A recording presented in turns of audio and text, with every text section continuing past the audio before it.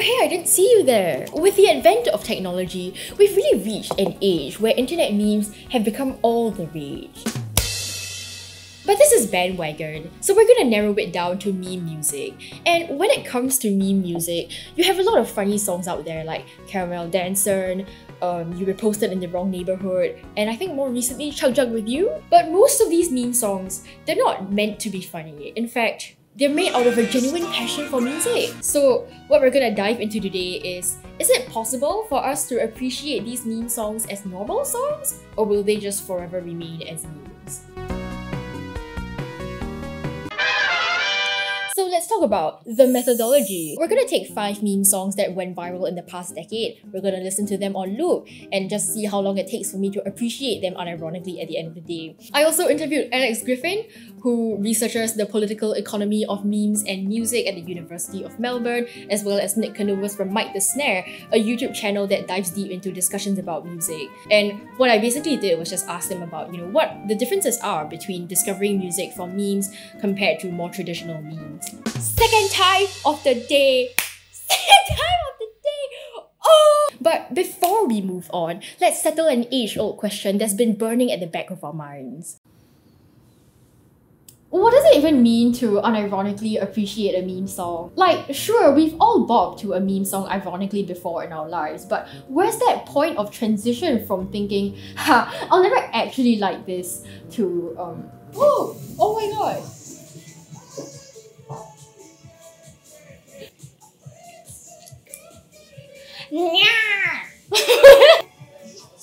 Inside and learn how to hide your feelings.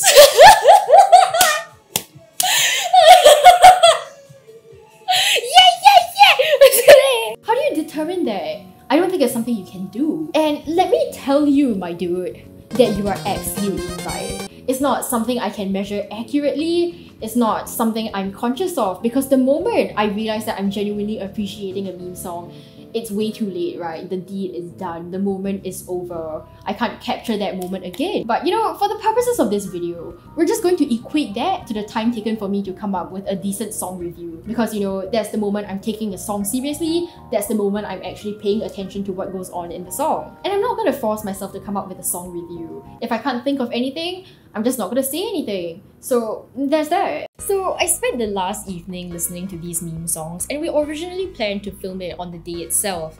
But uh, I'm gonna be honest with you, my brain was completely fried after listening to all of them on loop. Like I couldn't function at all and you're about to see why.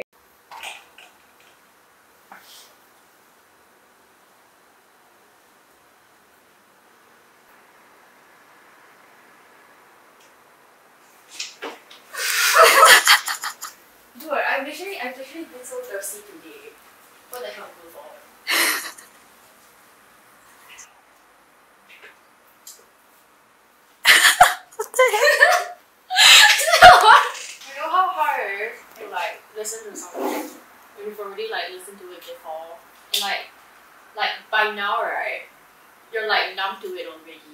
You're just like listening to it and I'm just like I don't care anymore. I don't care it's like because I did this to myself. I like to suffer.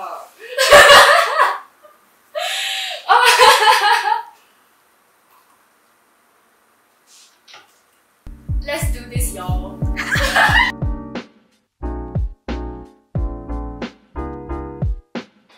First one up is Baka Mitai, the song that promoted Yakuza better than Sega ever could. And if you still don't know what Yakuza is, Honey, you've got a big storm coming. Basically, it's a video game about the Japanese mafia. And Baka Mitai exists in this game as a song that you can sing, and by sing, I mean press buttons on the PS4 too, while playing its karaoke minigame. it's a game about a Japanese mafia and it has a karaoke mini game. I hope that gives you an idea of just how incredible this entire franchise is. This song was so powerful, right? That it spawned this whirlwind of memes that was great in not just number, but also variety. You have deepfake memes of people lip syncing to the chorus. You have Keanu Reeves crying and apologizing while Baka Mitai plays in the background. And you also have an emotional Hatsune Miku cover. And we all know that the moment you've made it to the meme scene is the moment your song gets a Hatsune Miku cover. But the source material was the best part about this whole thing because nothing touches the human heart more than an anime himbo getting drunk while crooning about his lost love, am I right? So let's just check it out. I haven't listened to Baka Mitai in a long time and I'm pretty excited to see what this song has in store for me. You know, after listening to this song, I feel like I've forgotten how good this song actually sounded. Because man, it sounds heckin' good. Like you have this soaring string arrangement over these layers of chord progression, and it just sounds so beautiful and intensely sentimental. And that harmonica, that harmonica though, like it has no reason to sound this good. Maybe the production can sound a bit cheesy, but I don't think it makes the song sound any less iconic. I think Baka Mitai, you know, wholly commits to that era that the game is set in, and it really nails that sort of vintage vibe that the song is clearly going for. I think this song is depressing in the most glorious way possible, and I am living for it. Like Sega, your taste in music, it's like it's fire. It's, it's fire, bro. Like I have no words. This is so good. Yeah. Just cut this. And I think in general, there's quite a number of meme songs that started out as soundtracks. And when it comes to why, I think Alex puts it really well. A successful soundtrack is one that creates an aural vocabulary for an entire world. What that means is that the moment you hear a soundtrack, you're able to immediately link it back to where it came from, and that includes the visual scenery as well as the atmosphere and the vibe. And that's really what makes a good meme, right? The fact that it's so evocative, the fact that it's so delightfully sensual, the fact that it's so sexy.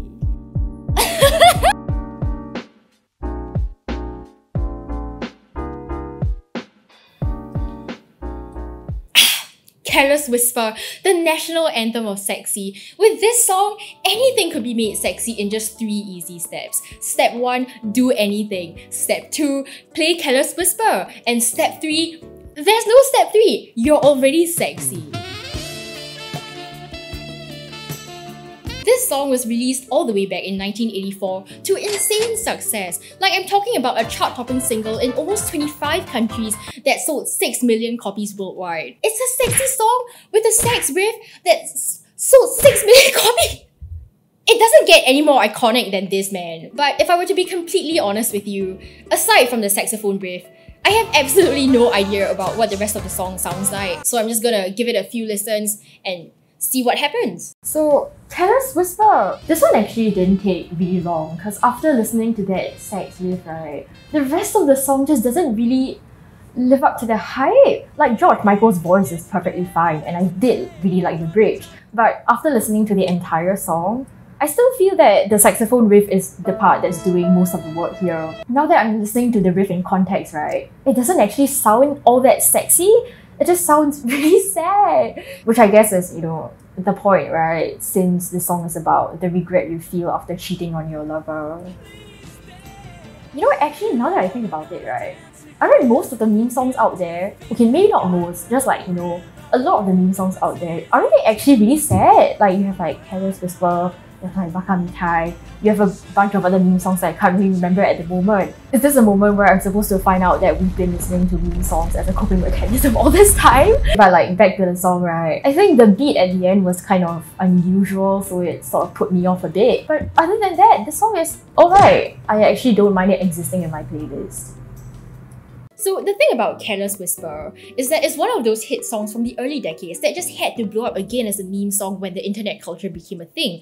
And there are other old songs like it as well. One example might be that, you know, A Thousand Miles by Vanessa Carlton, where the structure of it, the memes, it's like that 15 second kind of you know you know what's coming it's about how well known the song already is and how nostalgia plays into that but it still has to be connected to something that's funny and connects with people immediately you know, at this point, we've already reviewed a couple of meme songs, but what about an entire meme genre? That's right, buddy. Up next, we have.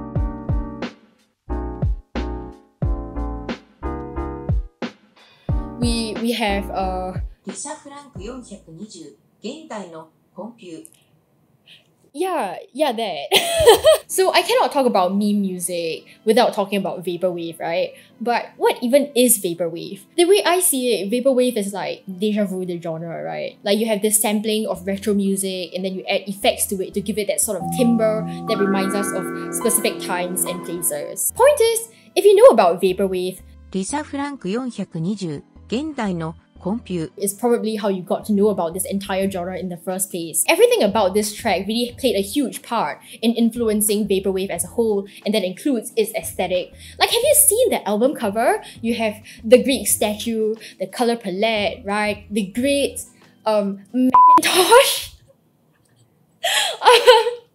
just just Macintosh.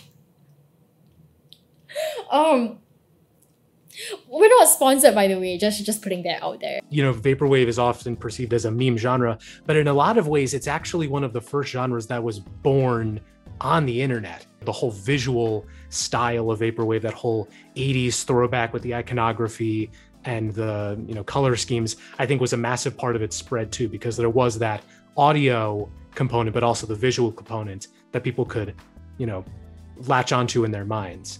And the more I thought about it too, there was also this again, I'm not sure if this would be the right word, but faceless quality to Vaporwave because a lot of the people who made it, uh, you know, Macintosh Plus, uh, Blank Banshee, they're often thought of as just kind of these blank personas. And a lot of their music was given away for free, or at least you could find it very easily online without I'm having to pay anything. So, in many ways, Vaporwave is the musical manifestation of memes. You have these audio-visual references to shared memories with a focus on music rather than the creators. So, how good does it actually sound? Oh my god, this song, man. Like, did you know that it's seven minutes long? Cause like I sure didn't when like I first searched the song up. And now that I've listened to it, right, it actually didn't really feel like seven minutes.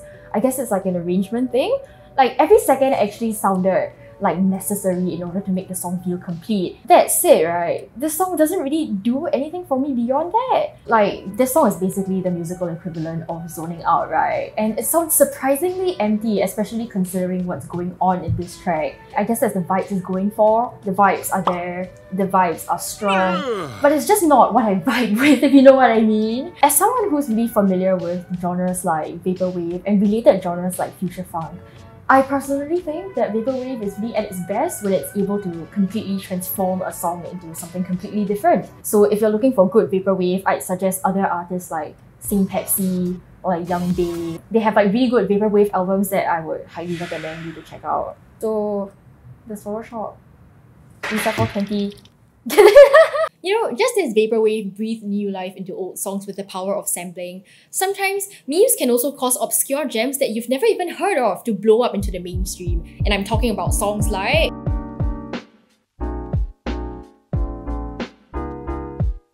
Yi Jian Mei was originally released as a theme song for this Taiwanese drama in 1984. You know, if I'm gonna be honest with you, I was really struck when I heard about this song blowing up on TikTok. So it all started with the Egghead guy, right? He sang the Shua Piao Piao, and people laughed, and people went to search up the original song to see what the heck it was all about, right? And I think that was really the moment when this song became this sort of um, ironic Asian anthem. You know, I actually haven't checked out this song in forever. Like, even when this blew up, on TikTok as a meme, right? I only heard that one soundbite, which was the chorus. So let's give it a proper listen. It's Xue Hua Piao Piao. Something that I really love about Asian languages is that they're really poetic and beautiful. And I think Yi Jian Mei really understands the assignment because the lyricism is just God tier. Like can I just like search this out for you real quick? Yeah, you have lyrics like the snow falls and the north wind blows. The world is vast and boundless. A cut of plum blossom stands proudly in the snow. Its perfume is only for one person like bars bars, my dude. So to give this some context, right? Romance portrayed in Mandopop in general, it's always been done in a really grand kind of way. I'm talking about things like, oh girl, let us like swear our eternal love to each other at the mountains by the sea. You know, the aesthetics of love in general is just a really big part of this genre. And everything has to be linked to the natural environment in some kind of way because, you know, the environment's really sexy, the environment's really hot, and it's only gonna get even hotter from here. so this is a certified bop for me. I like it. I like it a lot. The thing about this song, right, is that every Chinese parent and subsequently their kids knows about this song. And prior to this whole TikTok thing, Nobody else. So the fact that this song was able to reach such a broad international audience from what was basically out of nowhere is honestly quite astounding. You're being recommended content based on the fact that you're a member of a particular audience, you listen to a particular radio station. But what we're seeing here is an entirely different type of distribution, I would say, because you are now experiencing music not just being as a commodity being pushed to you, but something you can instantly use, something you can join in with, something you can participate, uh, share, um, do the hashtag challenge, push to your friends in a far more organic way. And now we're going to take on Why are we still here? perhaps one of the greatest meme songs of the 2010s and definitely my greatest challenge yet. Suffer. oh my god, this this is gonna be. Uh...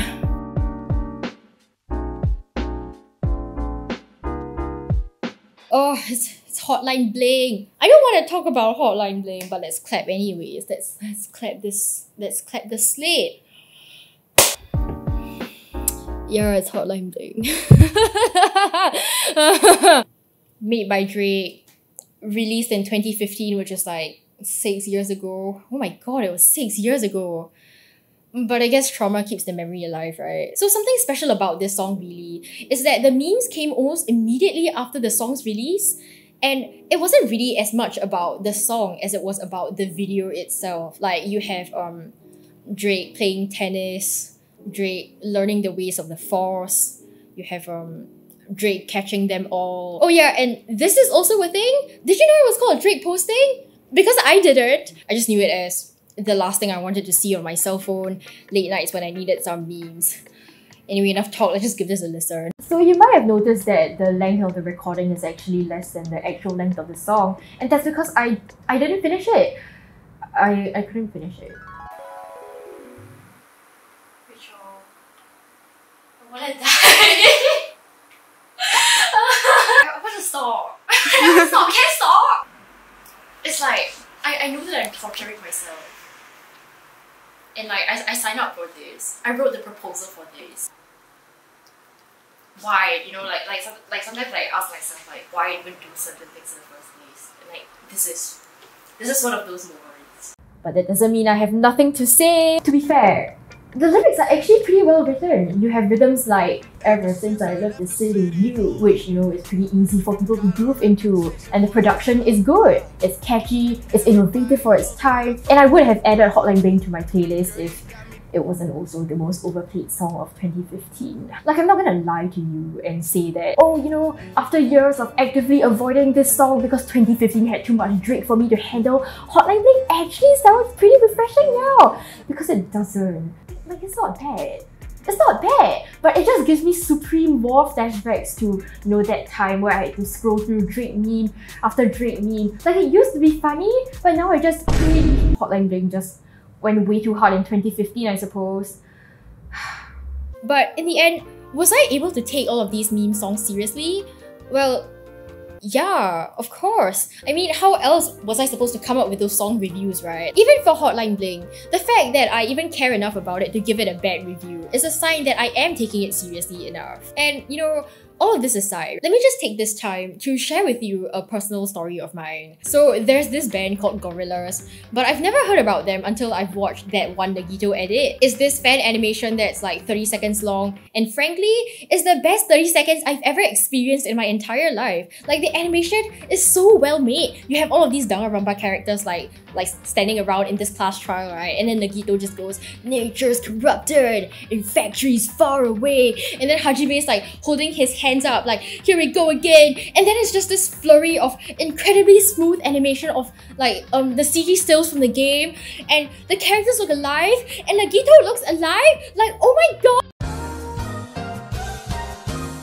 So I was like, this song sounds really good, and it's Rhinestone by Gorillaz. So I searched it up, and fast forward to now, and I'm a Gorillaz convert! Just because I got to know about a song through a meme doesn't mean that I'm unable to genuinely appreciate it for what it is. So why do we see so much gatekeeping of who gets to enjoy these songs? You know, um, comments like these. I think this can happen really whenever, you know, an in group, if you will, has a song or knows a song, and then a larger outside group comes, finds that song, and then appropriates it in new ways. I think this can be an issue when the outside group takes the song or elements from it without understanding, respecting, or credited those involved, especially if that group happens to be uh, marginalized. I think it's really important, yeah, to not view there being a hierarchy of the right way to hear music or there being a, a wrong sort of distribution channel to experience through, but the fact that all of this sound um, has the potential for different kinds of significance and different kinds of signification. If it can be memed, that means that there's something rich within the song, there's something essential to it that can activate sort of communal experiences. And I think that that's you know, sort of a beautiful thing. The songs that I like and the artists that I like having a higher platform and having more opportunities to do what they love, always for it.